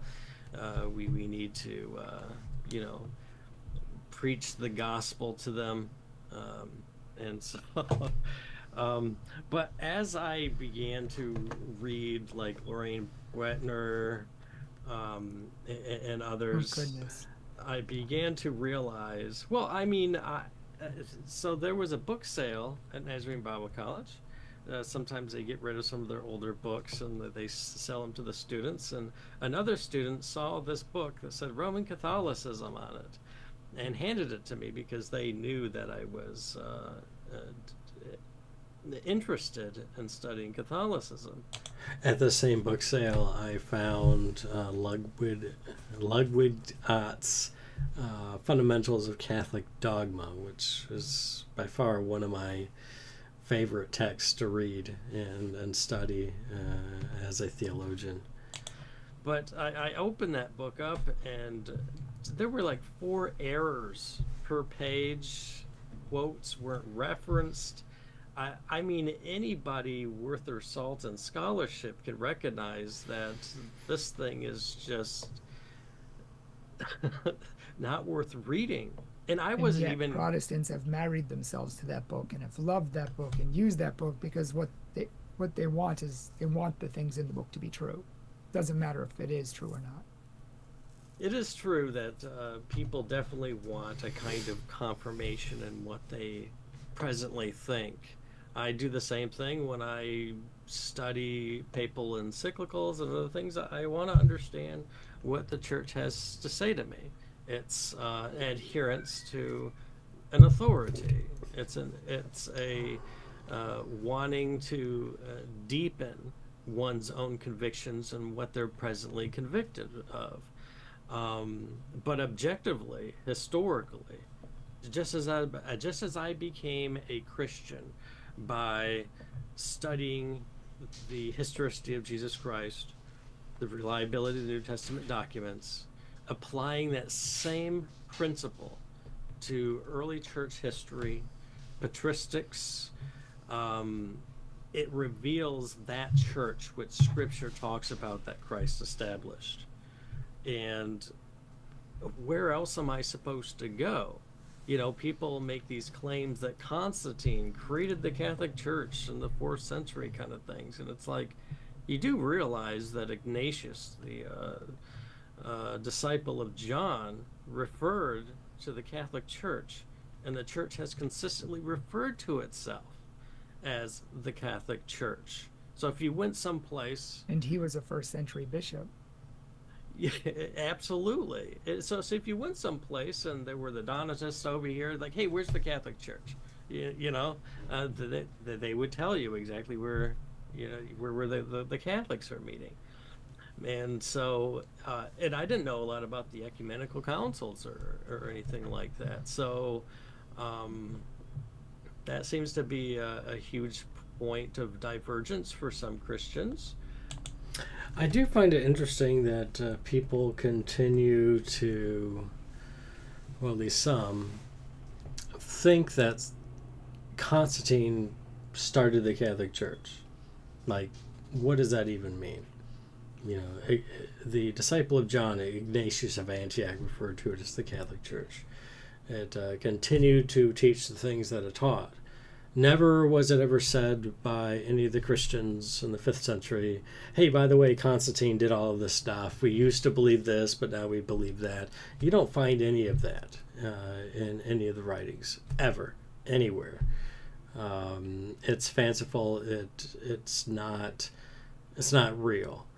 Uh, so in the fourth century, um, at 325, we have the sorry, I'll take a step back. In 313 there's the Edict of Milan, where Christianity becomes legalized. You can now legally be a Christian, right? You, you you're not going to be persecuted for being a, uh, a Christian because now it's legal. It's not illegal anymore. All right. In 325, you have the counts of the first ecumenical council in 325. And then we have the second ecumenical council uh, around 380, 381, and around that exact same time, uh, Christianity actually became, at that time, the official religion of the Roman Empire. And once again, in the fifth century, sixth century, nobody's saying Constantine changed this. You know, no, they're what do they say? We've always believed this. We've always believed that. Continually, they are explaining and expounding upon the teachings of the ante-Nicene fathers. Uh, as such, uh, there is no historical proof. There's a lot of uh, what you could say conspiracy theories of people trying to make these little connections, but um, that's something that's imposed. Those are, that's kind of like an exegesis onto history, an eisegesis onto history, uh, as opposed to looking at the extant text, look at the history of Christian thought. You're not going to find this supposed Constantine started the Roman Catholic Church. It's just it's just weird. It had been consistently the Catholic Church, and we have uh, the the history of the writings uh, in their entirety through this process, through this time they claim this took place, and and and, and it just certainly doesn't. Uh, there isn't, as John Wesley referred to as a uh, a complete corruption of faith and morals during this time. Uh, rather, the church continued to teach the faith and morals during this period.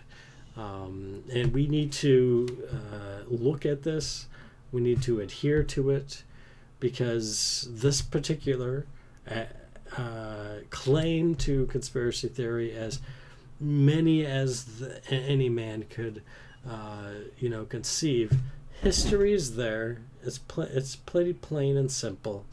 You just adhere to the structure that Christ established, the apostles established, their successors established, and just continue to remain uh, faithful to apostolic uh, succession in its preservation through the role of the Holy Spirit as the soul of the church to preserve uh, the ongoing doctrinal development and and the preservation of that faith that was once and for all given unto the saints, um, the apostolic tradition.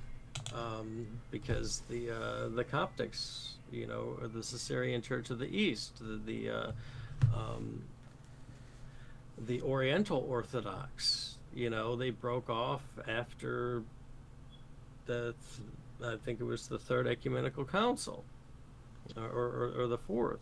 Um, you know, and, and each and each time, the church preserves orthodoxy.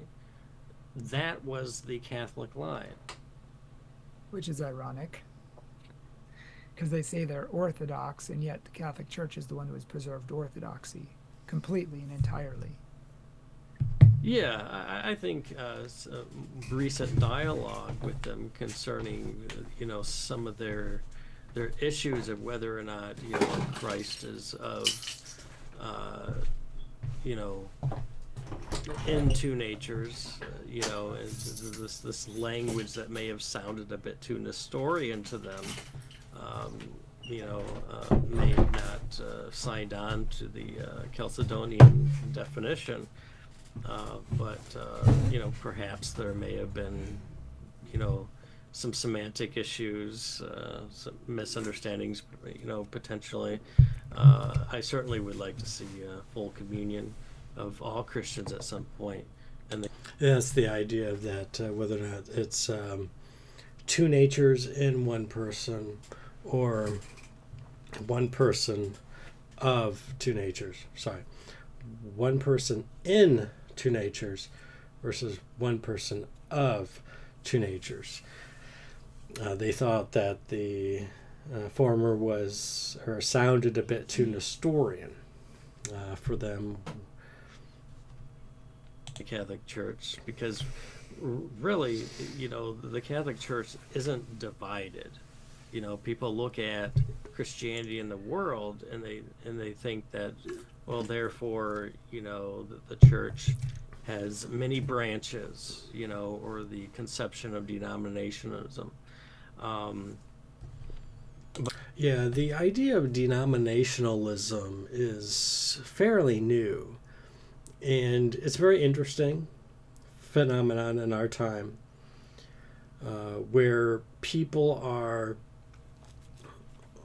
looking at the Catholic Church as just one denomination among others, for instance, and it doesn't really matter. Just go wherever you feel right, or you like the preaching, or they have a good, uh, you know, youth program, or, or something like that. But uh, really, none of this stuff really existed prior to the 16th century with the Protestant revolt, right? Those who protested the mass, who uh, and uh, who wanted to reform, uh, put a different shape, or create a new version of Christianity based on their private interpretations of Scripture. Um, which created all kinds of problems. It created as many theologies as there were minds to conceive of them. Uh, or they threw out the authority of the church. And so the sacraments uh, became watered down, and now you just have this constant uh, uh, fighting among people, arguing for one particular uh, theological tradition versus another. And if one finds themselves in the midst of this, I don't blame you at all for being there because I used to be there. I used to be part of the Church of Nazarene. I used to be part of the Wesleyan Arminian theological tradition. I, I, I totally get it. I'm grateful that God carved a path forward in the midst of this and used uh, my experiences and my studies and every and, and the truths that were contained therein uh, to, to draw me to the logos right? Who is reaching me who's who's drawing me seeking me and uh, will uh, bring me forward towards himself in the midst of any and all.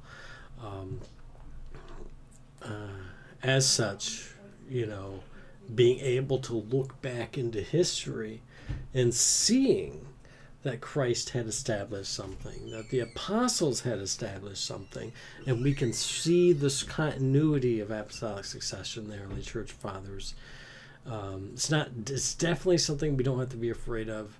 Um, uh, it, it encourages us to continue to deepen in our Christian faith, to be drawn to the fullness of uh, what Christ, God has revealed to us and how it's been expounded upon and, and everything else in the church.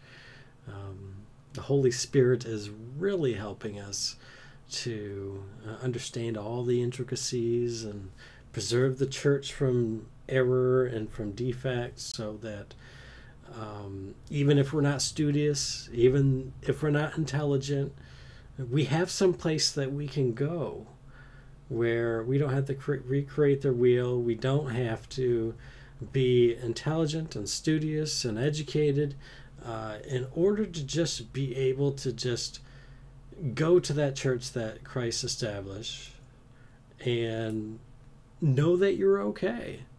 And you can just rest and you can learn and you can grow and you, you, you could study uh, at your own pace because you're home, you're here, you're there. So it's just take that into consideration. God has provided for the simple as well as for the um,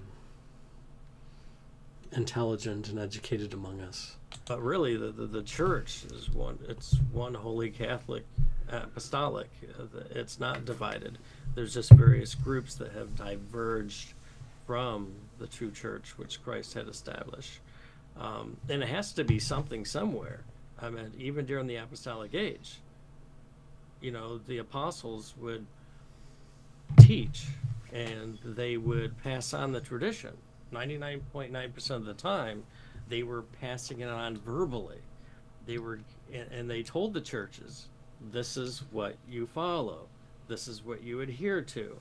And this was basically put into the churches like a rich man putting money in a bank, you know, and this is how it's preserved um, uh, in the church. So, um, at some point, I just couldn't remain Protestant anymore because I could see that only that the Protestantism does not maintain the model of authority. hey, Captain. Yes, it's, it, it looks like I'm interviewing myself. Isn't that funny? Uh, but no, uh, I'm actually um, listening and commenting upon the interview that I gave to uh, Brian Mercer over at Catholic Truth on YouTube. And uh, we have another like 16 minutes to look at. And I've been trying to stay quiet because there's an hour of content, uh, an additional hour, uh, sorry, an additional 10 to 15 minutes in this unedited um, uh, uh, version that I have that you can't find on Catholic Truth. Um, but uh, I, I also thought, hey, you know, if I'm going to show that, I might as well comment upon the whole thing. I got additional stories and additional ideas and stuff that I'm sharing. So, that is in the pages of the New Testament. In the pages of the New Testament, we see writings that were later um, uh, said to be scripture. that's not to say that they weren't originally inspired in and of themselves, uh, but th- they may not have been originally treated that way. I'm, I'm just making that point. We have Though it, it makes sense that if the apostles were delegated the teaching authority in the church, that not only their writings were inspired by the Holy Spirit to reveal public revelation uh, to the church and to basically instill this into the churches, right? To deposit it, and as it's a deposit of faith, right? um, but also their public preaching uh, would have carried a similar charism where they weren't actively teaching heresy by mistake and things like that, but rather that their teaching authority itself um, carried a kind of charism of infallibility so that as they taught, you can be rest assured that you can listen to what the apostle paul is saying you can listen to what peter is saying and it's per- perfectly fine. They're not going to error in presenting this to you you know? So the full interview uh, i will yes i linked it into the discord. You can see it there. Um, this version though uh, there was about 10 minutes that was edited out, so I decided that I was going to listen to this. So there would be some things that you can hear uh, in this video that you're not going to be able to hear in the original video. Um, and like I said, because that's the case, there's about 10 15 minutes worth of difference. Closer to 10. I originally said 10 to 20, but uh, I, I, it looks like it's about 10 minutes worth of content. Uh, I wanted to expand upon it, expound upon it, and share more stories and stuff. a living authority in the apostles and their successors. Uh, we have verbal preaching, which composed most of what they were passing on. And they were to continue to preserve this. Idea that everything that the apostles verbally taught is in the, the, the, the writings that were very fragmentary and occasional. Uh, what God wanted to have consigned into writing, yes, um, but there are interpretations and nuances and explanations. It, uh, just just imagine, you know, Paul going to Ephesus and preaching for three years straight, kind of thing. Um, we have one letter from Ephesus. That's nice. Uh, that's that's amazing. Um, but wouldn't it been nice to actually sit and listen to Paul for two or three years in Ephesus? Go on and on and on, you know. And he's not just doing the same sermon over and over again. He's he, he didn't just day one write uh, the the letter to the Ephesians and then read it to them over and over again. You know, he expounded, he preached, he he gave the apostolic tradition and all its fullness over time in bits and pieces, and this is uh, given to the churches, and they were told to continue to preserve this. They did that in the first century, they did it in the second century, they did it in the third century, and bits and pieces of that show up in the early Christian writings and the early church fathers. Those interpretations, those teachings. Um, and if we are truly going to have a kind of hermeneutic of continuity, we would have to say that the church in the second century is following the exact same model that we saw in the first century. Otherwise, we, we impose some sort of um, break in authority. Like everything just drops off, and all of a sudden, every single like the Apostle John dies, and then all of a sudden, well, I'm only going to follow what's what it says in First and Second Thessalonians now. I don't care what Paul preached to the churches. You know, I don't I don't care what church authority has to say. This is my interpretation of First and Second Thessalonians. Uh, nobody was doing that. They weren't, you know, taking those things in a vacuum. It was communal. It was read within the context of the heart of the church, within the ecclesial community. They were read, they were expounded, uh, and, and they were taught. And these things continue to be preserved. Protestants will say that, you know, God has the ability to inspire these writings, to use the apostles to uh, to to preach new revelations and uh, have authority in the church. Uh, and all of a sudden, where does that Holy Spirit go? Was it chased into a book? No, it continued to, the Holy Spirit continued to be the very soul of the church not actively revealing, because at the close of the apostolic age for the de- death of John, there's no new public revelation that is given. But the Holy Spirit doesn't disappear. The Holy Spirit now preserves and makes sure that the church doesn't defect and has perpetuity and continual authority. It's the Holy Spirit doesn't disappear.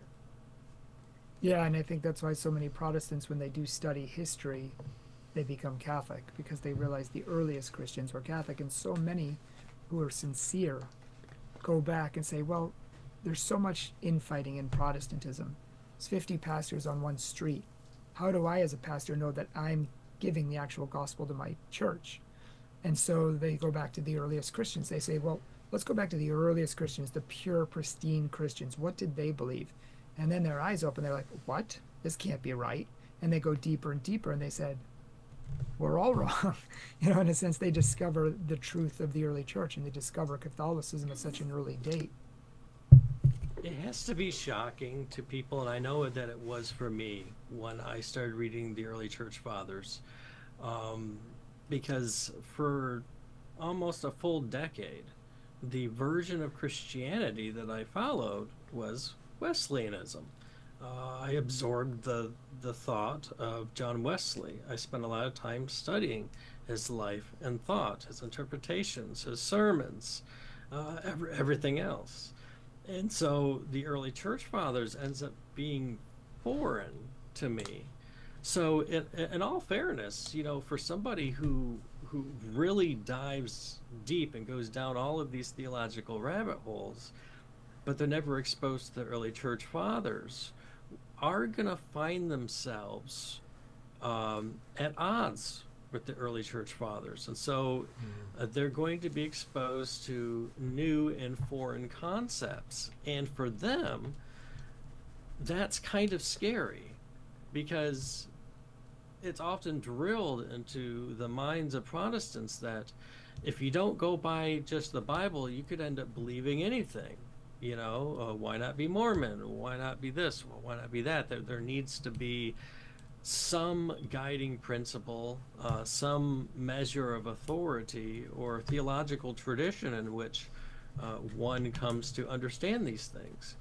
But for a person who, say, has been part of the Church of Nazarene for 50 years, and they start reading quotations from Augustine, whom they've heard their whole life as being this great, uh, great intellectual, you know, scholar in Western Christianity, and they start finding all this Catholic stuff, it can be very scary. I, I remember Scott Hahn one time said, you know, he was just he was discovering these th- these um, th- these these profound uh, ideas or insights into Scripture, and then found that the early church fathers were talking about that with a kind of you all know you know kind of attitude you know and it, it, it's very it's it, it's very humbling. Uh, it's it's it, it can be very scary you and know? Scott Hahn was like a premier Presbyterian leader you know and he had read like 10,000 books you know like he to get to the point where this is what the truth is. I mean, and then he's like I've reinvented the wheel earliest Christians already believed this. Here, I thought I was like the scholar of scholars, and they already believed it. It's um, it can be very disconcerting to maybe even spent 30 to 40 years with a particular denomination of Protestantism, I'll say it that way, that um, has been the kind of locus or the orienting concern or the uh, the centerpiece of how one has thought and processed and experienced uh, Christianity as a whole. And uh, one may propose that, well, I mean, isn't this just sufficient then? Isn't it okay that as long as that you have Christ? Well, it really depends on what that even means. I mean, if you if you're an Apollinarian and you think that the Logos replaces the human soul of Jesus, and then you propose that uh, Jesus on the cross is an innocent man who is punished by the Heavenly Father who's got to get out his rage and wrath. Um, uh, in order that he could forgive us and that uh, you know jesus is just another consciousness another will another um, intellect uh, within the trinity. Well i've just expounded what is according to the catholic church three distinct heresies. Um, and so it just kind of begs the question of whether or not we are really understanding Christ as he is in himself and not just some kind of version of him that has been crafted by somebody at some time, but something that we've actually uh, has been preserved and that has been um, passed on to us by the church, which is the pillar and foundation of the truth which the gates of Hades will not prevail against.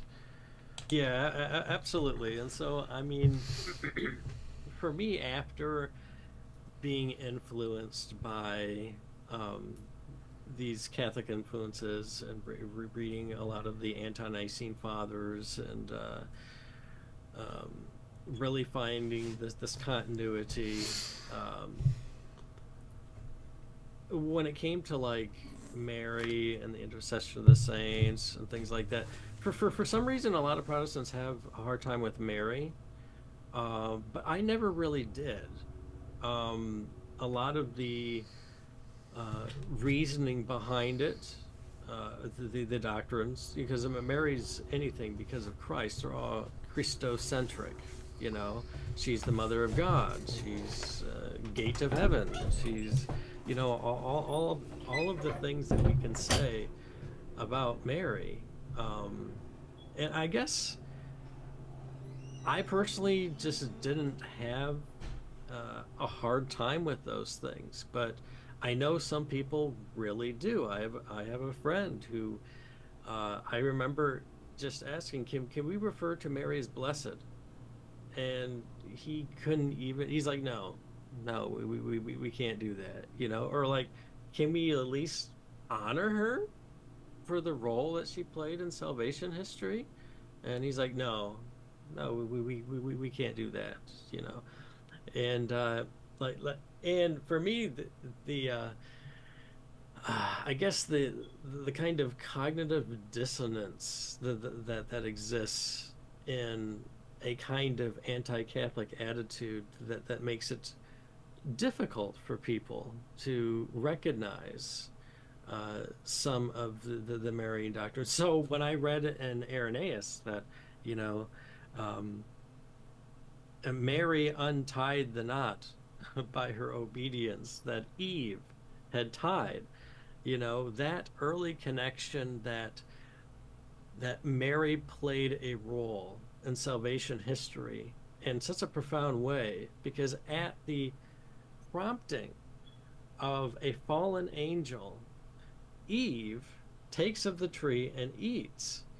Whereas with Mary, she, at the prompting or at the annunciation of a good angel gives her consent and obedience so that the fruit of her womb can be put back onto a tree. It, it, is it's just so profound and um, that it's it's so for me it's so difficult not to see anymore. Like i can't unsee it.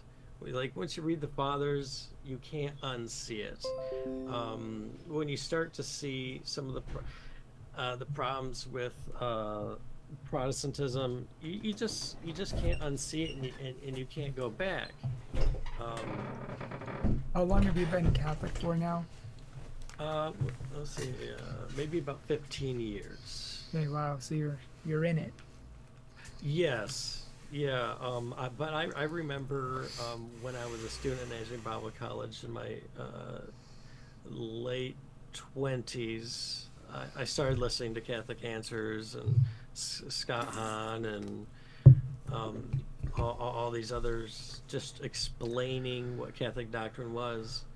Uh, I was fortunate in that uh, I didn't have a lot of anti Catholic traditions, fake caricatures that I had to change. Just a second.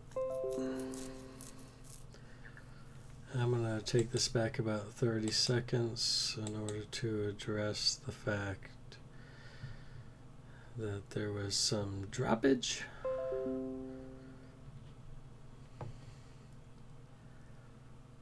And looks like it may have dropped again. Okay, then it reconnected. Waiting for OBS to connect here. One of the problems of doing it uh, live, but it's much easier to just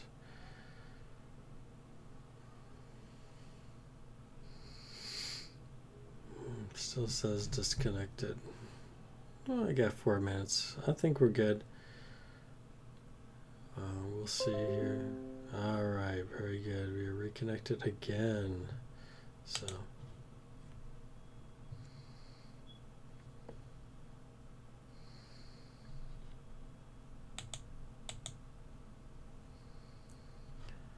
Let's see if we can get this to uh, start going. And dropped again. Well, at least the uh, recording is fine, but yeah. If we can get this uh, going again and that I'm doing this because I'm not Catholic. That wasn't my identity, as it seems to be the identity of some, to, to simply not be Catholic, to be anything else. Um, so as I was, I was absorbing those things, I got to see what Catholicism was um, on its own. I didn't have to correct caricatures that existed merely in the minds of men basically. And uh, I actually found that to be very intriguing that there does exist these caricatures that exist in the minds of men, and they teach as if they're an authority on what Catholicism is, as opposed to just listening to the magisterium. Um, they may even have d- difficulty interpreting things that take place in Catholic teaching because they're viewing it through the lens of their fundamentalist, uh, literalist reading of things. They do that to Scripture. They're going to do that to the documents of the Church as well. Amen. And uh, do you have any parting thoughts, quickly, briefly, for anyone of our listeners? Any last thoughts? Yes, um, I, I would recommend to people to be tentative in your theological uh, studies uh, leading to uh, the, the fullness of truth, having that openness, um, and having and not being scared to become Catholic. You know, uh, I know what it's like uh, to lose friends, to um, be isolated, um, but you don't have to invent the wheel anymore.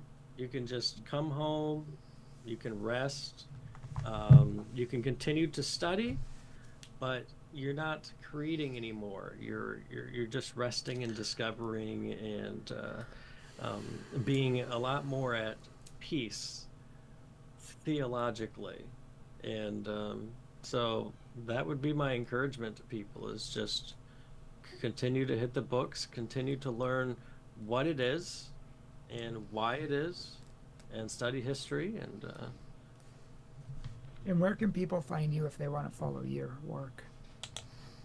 All right, that gets us to the end. Um, I'll probably just maybe upload the version that I have recorded locally, and uh, that way there isn't going to be any kind of weird uh, um, uh, output with uh, OBS uh, live and so on and so forth. So I hope you enjoyed my reflection on this. Um, obviously, you know, if you want to make comments or share your thoughts or ideas or anything like that, I'm certainly uh, willing to uh, engage in conversation and uh, hear your stories as well. So, uh, God bless everybody, and you have a wonderful day.